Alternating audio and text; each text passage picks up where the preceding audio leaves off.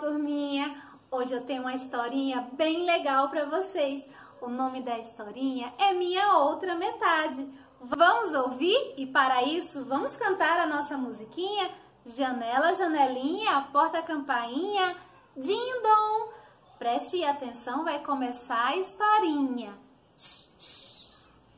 Era uma vez um coração, um coração inteiro e totalmente feliz sempre apaixonado, pois estava completo. Mas até que um dia caiu uma tempestade. E nessa tempestade caiu um raio. E como o raio atingiu bem no meio do coração, ele se desfez em dois pedaços. Tadinho do coração, ele ficou tão triste sem a sua outra metade. Mas, depois da chuva, ele começou a procurar a sua outra metade.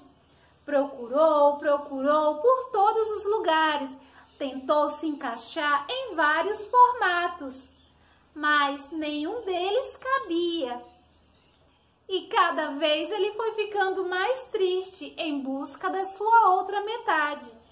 E enquanto isso, a outra metade também estava triste, ando procurando, tentando se encaixar em várias metades, mas nenhuma era perfeita. E ela foi ficando triste, em busca da sua outra metade.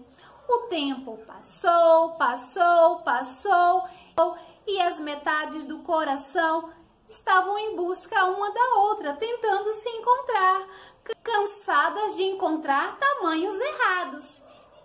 Um dia algo mágico aconteceu e as duas metades se encontraram e voltaram a ficar felizes para sempre.